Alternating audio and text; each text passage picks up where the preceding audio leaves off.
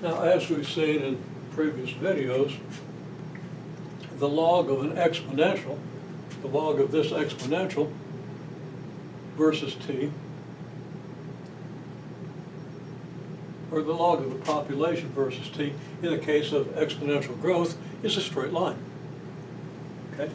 So the graph would look like this.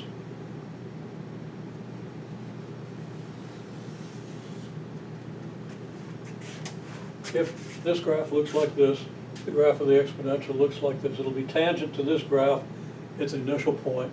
This graph will start slacking off and move away from this. And if you look at these graphs, and I, I'm not sure who the source of the graphs is, but I've checked their numbers against everybody else's. It's some statistical group. Uh, I don't think they're partisan, and the facts aren't partisan. The facts are what they are. Um, you see this versus this.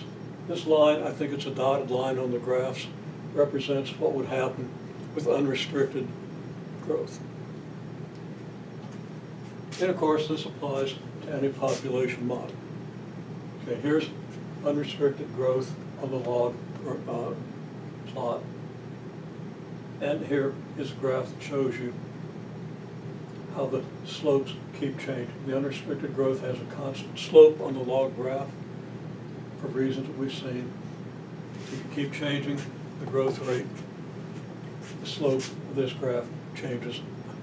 The slope of the blue graph will change accordingly.